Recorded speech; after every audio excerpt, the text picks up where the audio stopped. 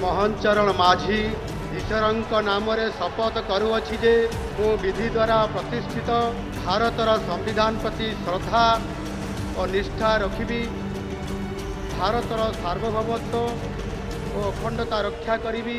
ଓଡ଼ିଶା ରାଜ୍ୟର ମୁଖ୍ୟମନ୍ତ୍ରୀ ରୂପେ ମୋର କର୍ତ୍ତବ୍ୟ ଶ୍ରଦ୍ଧା ଓ ଶୁଦ୍ଧ ଅନ୍ତର୍କରଣରେ ନିର୍ବାହ କରିବି।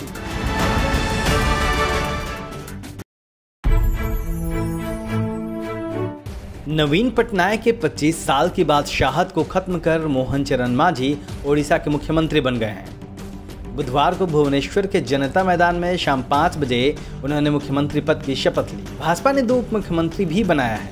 इसमें लगातार छठी बार विधायक बने।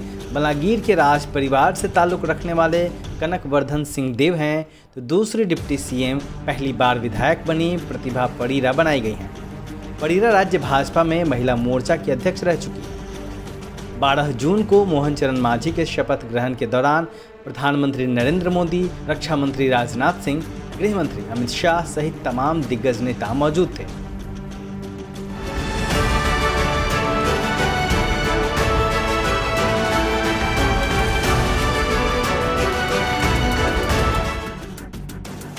लेकिन सवाल है कि भाजपा ने आखिर आदिवासी समाज की मोहन मांझी को ही क्यों चुना?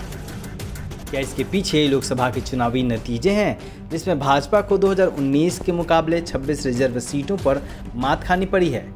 और इसी बेचैनी में भाजपा आदिवासी बहुलता के हिसाब से तीसरे नंबर के राज्य उड़ीसा में आदिवासी समाज के नेता मुख्यमंत्री पद की कमान सौंपी है।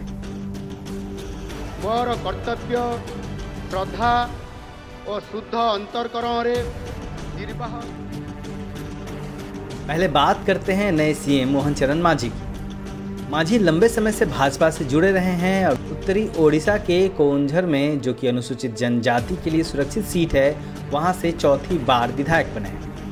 मांझी के नाम पर मुहर लगाकर भाजपा ने छत्तीसगढ़ और राजस्थान की तरह ही एक बार फिर से सबको चौंका दिया है। ओडिशा में आदिवासी समाज की आबादी करीब 23 प्रतिशत है। ओडिशा की कुल आबादी चार करोड़ है, जिसमें आदिवासी समाज की आबादी एक करोड़ है।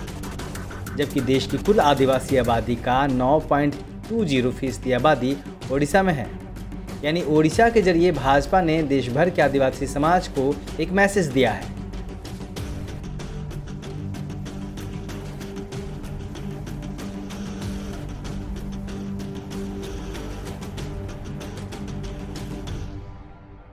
दरअसल लोकसभा चुनाव में आरक्षित सीटों पर करारी हार के बाद भाजपा में बेचैनी है। साथ ही जिस तरह से 400 पार का नारा देने के बावजूद भाजपा खुद अपने बूते सरकार भी नहीं बना सकी और एनडीए गठबंधन पर निर्भर हो गई है, उसने भाजपा को डरा दिया है। ऐसे में भाजपा ने जिस तरह छत्तीसगढ़ के बाद ओडिशा में आदिवासी समाज को नेतृत्व दिया है और वंचित समाज के बीच यह संदेश देना चाहती है कि सिर्फ़ भाजपा ही दलितों और आदिवासियों को प्रतिनिधित्व दे सकती है।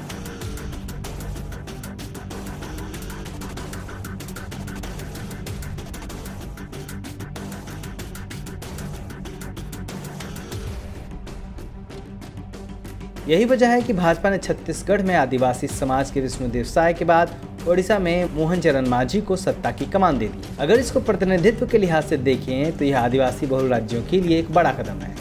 क्योंकि आदिवासियों की बहुलता वाले प्रदेश में इसी समाज का मुख्यमंत्री इस समाज की असली भलाई सोच और कर सकता है, क्योंकि उनके मुद्दे को वही जानता है। जैसा कि झारखंड के मामले में वकालत की जाती है, लेकिन बात बस इतनी सी नहीं है।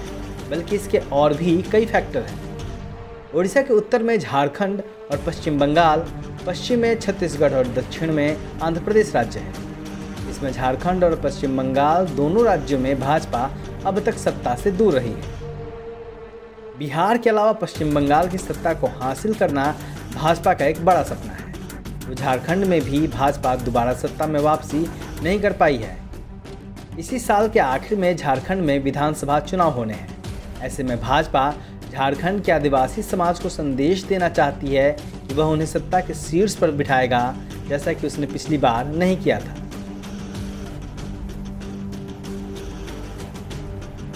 हालाँकि इन सब के बावजूद छत्तीसगढ़ में विष्णुदेव साय और अब ओडिशा में मोहन चरण मांझी के रूप में भाजपा ने उन्हीं नेताओं को मौका दिया है जो भाजपा और संघ की विचारधारा से निकले और उसमें रचे बसे हुए हैं। मोहन चरण मांझी ने 90 के दशक में सरस्वती शिशु मंदिर में शिक्षक के रूप में अपने करियर की शुरुआत की थी। सन उन्नीस में वो सरपंच बने और साल 2000 में भाजपा के टिकट पर केउंझर से पहली बार विधायक बने। 24 साल तक नवीन पटनायक ने जिस तरह ओडिशा में अजय राज किया, मांझी उसके खिलाफ मुखर रहे। इसने उन्हें आदिवासी समाज के साथ साथ भाजपा के भीतर भी लोकप्रिय बना दिया। और इन सब के बाद जिस तरह मुख्यमंत्री बनते ही अपने पहले फैसले में, उन्होंने जगन्नाथपुरी मंदिर के सभी चारों दरवाजे खोलने और मंदिर के रखरखाव के लिए 500 करोड़ का कोष स्थापित करने का आदेश दिया है, वह उन्हें भाजपा के सबसे बड़े एजेंडे धर्म से भी जोड़ता है। अब देखना होगा कि भाजपा ने जिस तरह छत्तीसगढ़ के बाद अब ओडिशा में आदिवासी समाज का मुख्यमंत्री दिया है, वो भाजपा के एजेंडे को पूरा करने के अलावा आदिवासी समाज का कितना भला करता है। ब्यूरो रिपोर्ट दलित दस्तक ମୋହନ ଚରଣ ମାଝୀ ଈଶ୍ୱରଙ୍କ ନାମରେ ଶପଥ କରୁଅଛି ଯେ ମୁଁ ବିଧି ଦ୍ୱାରା ପ୍ରତିଷ୍ଠିତ ଭାରତର ସମ୍ବିଧାନ ପ୍ରତି ଶ୍ରଦ୍ଧା ଓ ନିଷ୍ଠା ରଖିବି ଭାରତର ସାର୍ବଭୌମତ୍ୱ ଓ ଅଖଣ୍ଡତା ରକ୍ଷା କରିବି ଓଡ଼ିଶା ରାଜ୍ୟର ମୁଖ୍ୟମନ୍ତ୍ରୀ ରୂପେ ମୋର କର୍ତ୍ତବ୍ୟ ଶ୍ରଦ୍ଧା ଓ ଶୁଦ୍ଧ ଅନ୍ତର୍କରଣରେ ନିର୍ବାହ କରିବି।